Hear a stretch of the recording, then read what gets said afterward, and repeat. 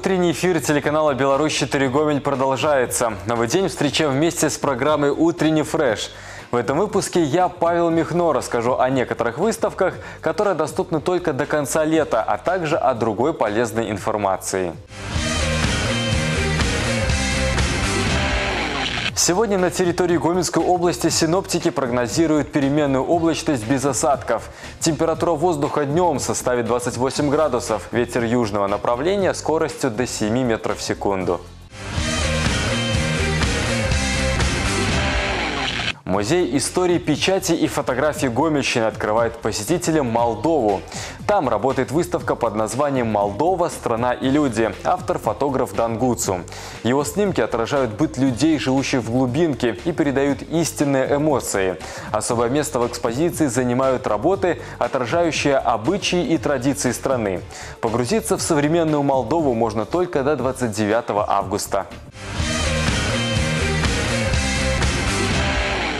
Картинной галерее Гаврила Ващенко можно увидеть фотографии, сделанные в Иране и Мьянме в 2019 году.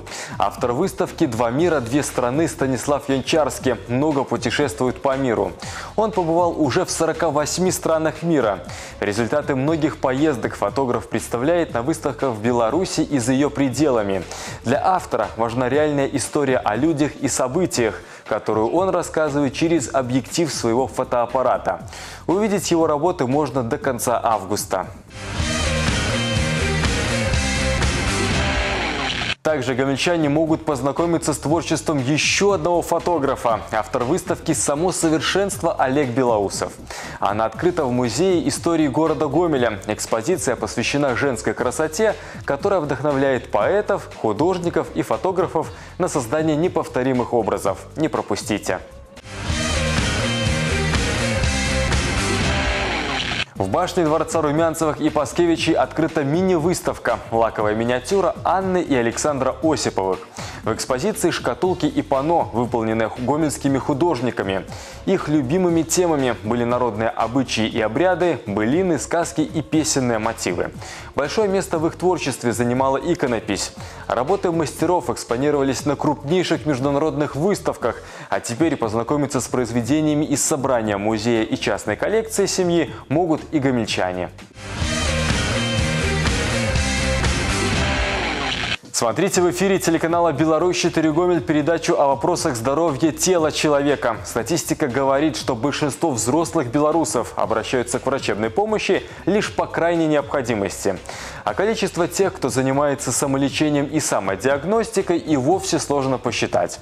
В итоге это влияет не только на среднюю продолжительность жизни в стране, но и на ее качество. Первый шаг на пути к изменению такой ситуации – профилактика. На это и направлена программа «Тело человека». Включайте наш телеканал в 19.30.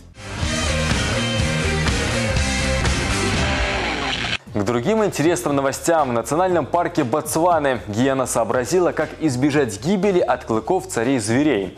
Катаясь по парку, туристы увидели, как гиены преследуют импалу. Однако они увлеклись и не заметили, как угодили на территорию львов. И те решили оставить добычу гиен себе. Один из самцов накинулся на конкурента, но хитрая гиена прикинулась мертвой, и львы перестали обращать на нее внимание. При первой же возможности гиена поспешила убежать и тем самым спасла спасла собственную жизнь. Дрессировщик дельфинов на Филиппинах перед началом шоу снял короткое, но очень милое видео. Мужчина включил камеру и обратился к одному из своих подопечных. Он спросил у дельфина, любит ли тот его, и ответом стал утвердительный кивок головой. Это так растрогало пользователей интернета, что видео получило только восхищенные отзывы. В одном из зоопарков Китая две гигантские панды отпраздновали свой четвертый день рождения. На этих фотографиях можно видеть, как радостные животные резвятся на траве, наслаждаются праздничной трапезой и разворачивают подарки. Причем делают это с нескрываемым любопытством. Сегодня в нашей рубрике есть вопрос. Нотариус Лариса Мищенко расскажет о том, что лучше – завещание или дарение. Не переключайтесь. Действительно, в нотариальной практике э, это, наверное, самый популярный вопрос. Что же лучше, э, дарить или завещать? Завещание – это свободное волеизъявление гражданина, э, которым он распоряжается своим имуществом на период смерти. Прежде всего следует отметить, что э, завещание – это односторонняя сделка.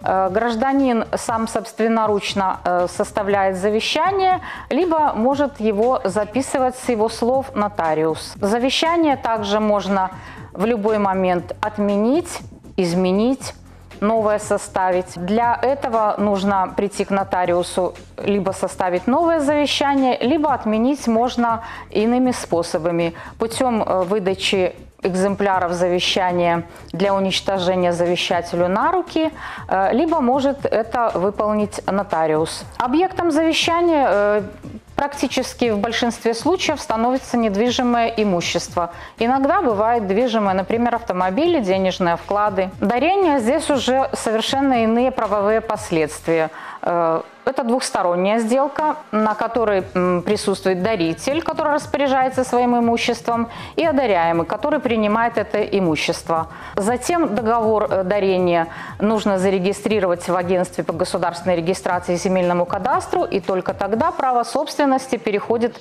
к одаряемому.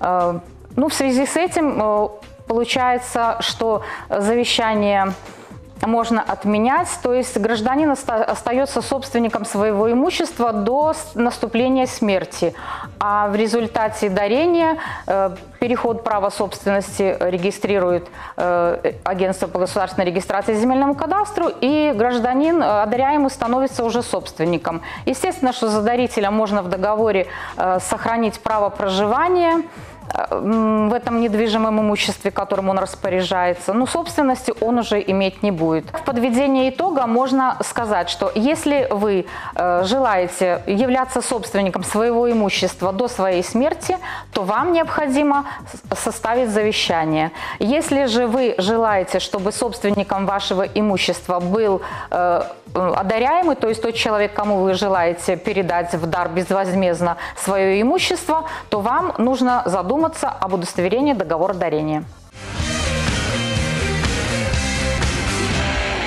Как провести летнее время с пользой своими идеями на этот счет, мы попросили поделиться гомельчан. В ответ услышали немало отдельных советов и проверенных вариантов, что важно, практически незатратных финансово видов досуга. Я руководитель школы и клуба скандинавской ходьбы в Гомеле «Белые ходаки». В скандинавскую ходьбу я пришел а, благодаря усилиям своей жены. Это она первая э, обратила внимание на этот вид физической активности, ну, а я ее, в общем-то, поддержал. И год мы ходили самостоятельно, нам это очень нравилось, но чем дольше мы ходили, тем больше понимали, что мы делаем что-то не то, и нам необходимо более углубленно изучить этот процесс. Скандинавская ходьба практически влияет на, наши, на весь наш организм.